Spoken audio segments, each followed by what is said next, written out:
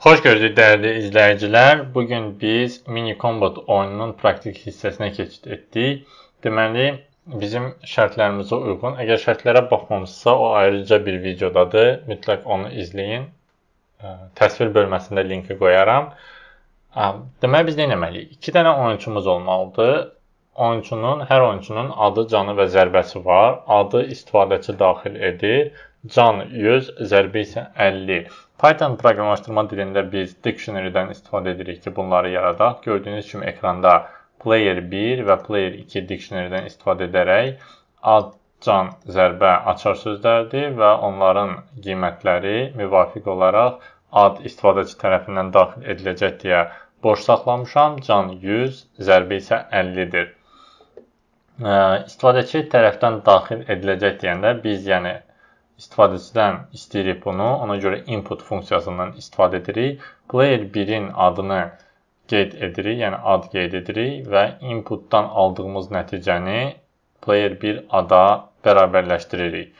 Player 1 isə öz adını daxil etmək üçün birinci oyunçunun adını daxil et yazısını ekrana çıxaracağıq. Eyni addımı player 2 üçün, yəni ikinci oyunçu üçün atırıq. İkinci oyunçunun adını daxil et. Onlar adlarını daxil etdikdən sonra oyun artıq başlaya bilər. Oyunu kim başlayacaq? Mən burada qeyd etmişəm ki, P1 bərabərdə true. Boolean-dan istifadə edərək oyunu mən qərar verirəm ki, birinci oyunçu başlasın. P1 bərabərdə true qoyuruq. Əgər P1 false olarsa, deməli ikinci oyunçunun növbəsidir. Növbəni dəyişmək üçün biz boolean boolean olan bir veriləndən istifadə etdik.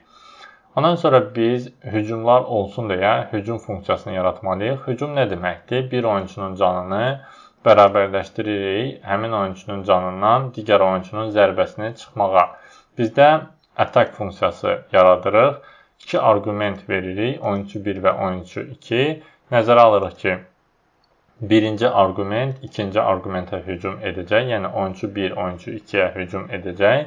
Ona görə oyunçu 2-nin canı bərabər olacaq oyunçu 2-nin canından çıxacağıq oyunçu 1-in yetirdiyi zərbəni və nəticə oyunçu 2-nin canında olacaq. Və oyun nə vaxta qədər davam edəcək sualına isə oyun can 0-a bərabər olana qədər davam etməlidir. Biz isə yoxlayırıq ki, oyun o vaxta qədər davam edir ki, əgər bunların hər ikisinin canı sıfırdan yuxarıdır. İkisindən birinin canı sıfırdan aşağı olarsa və ya sıfıra bərabər olarsa, deməli oyunu bitmiş saymaq olar. Kimin canı sıfıra bərabərsə o məğlub olur, kimin canı qalıbsa həmin şəxs, həmin oyunçu qalib olur. Diqqət Verin burada mən while-dan istifadə edirəm. Digər bir dövriyyələrdən də istifadə edə bilərsiniz. Bu mənim sadəcə öz seçimimdir. While istifadə edirəm ki, belə rahat yaza bilim. Şərtləri daxilində, while-ın daxilində verdikdən sonra biz müəyyən etməliyik ki, indi kimin növbəsidir hücum etməyə.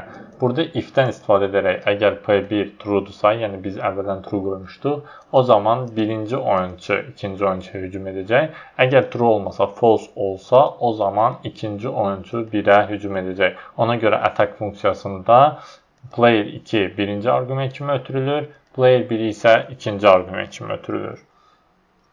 Sonradan biz növbəni dəyişməliyik. Ona görə növbə hal-hazırda nədirsə, onun əksinə dəyişirik. Bunun üçün biz not funksiyasından istifadə edirik. Yəni notun daxilinə biz true ötürəndə o geriyə false qaytarır. Yəni not true. Növbəni dəyişdikdən sonra biz yoxlayırıq kimin canı nə qədərdir. Burada gördüyünüz printi sadəcə dövrlərin ekranda rahat görsənməsi üçün verirəm. Hər belə bir 3 rəqəm gördükdə bu deməkdir ki, artıq bir dövr yerinə yetirilib. If funksiyası ilə yenidən biz birinci oyunçunun canı yoxlayırıq. Əgər birinci oyunçunun canı sıfıra bərabərdirsə, o zaman ikinci oyunçunun adını ekrana çıxardaraq onu təbrik edib qalib olduğunu bildiririk. Yox, əgər ikinci oyunçunun canı sıfıra bərabərdirsə, o zaman eyni addımı birinci oyunçu üçün atırıq. Onu təbrik edib, adını ekrana çıxarıb qalib olduğunu bildiririk. Əgər nə birinci oyunçunun, nə ikinci oyunçunun canı 0 deyilsə, deməli hücumlar davam etməlidir və oyun davam edir. Oyun davam etsə də biz ekrana sadəcə çıxardırıq ki, hal-hazırda kimin canı nə qədərdir? Yəni həmin dövr üçün kimin canı nə qədərdir?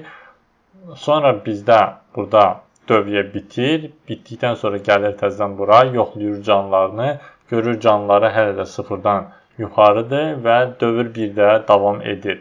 Belə 0 olana qədər ta bura gəlib görəndə ki, player 1-in və ya player 2-nin canı 0-dan 0-a bərabər və ya 0-dan aşağıdır, o zaman bu dövriyyəyə daxil olmur və sonda heç nə yoxdur deyə oyun dayanır.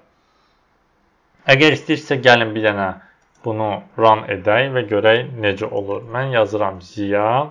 İkinci oyunçunun da adını yazıram. Tutaq ki, IT Qaqaş. Beləliklə biz görürük ki, birinci dövrdə Ziyanın canı 100 qalır, çünki Ziya Aytika Qaşa hücum edir, onun 50 canını aparır. Sonra isə Aytika Qaş cavab qaytarır, Ziyaya hücum edərək onun 50 canını aparır və sonda Ziya təzədən Aytika Qaşa hücum edərək Aytika Qaşın canını bir də 50 olaraq aparır və beləliklə Ziya qalib olur. Oyunumuz bitir. Tapşırıqda isə siz görə bilərsiniz ki, əlavə edəcəyiniz bir məqamları sizin nəzərinizə çatdırmışam. Həmin o məqamları əlavə etsəz, oyun daha da maraqlı olar və daha da belə deyək, qabaqcadan bilmək olmayacaq ki, kim udacaq. Ona görə daha da maraqlı olar. Əgər istəsəz həmin o əlavəni mən bu mini combat oyununa əlavə edib təzədən bir video paylaşım. Zəhmət olmasa bununla bağlı şərh bölməsində fikrinizi bildirin. Bir də kanala abunə olmağı unutmayın. Diqqətiniz üçün təşəkkür edirəm. Sağ olun.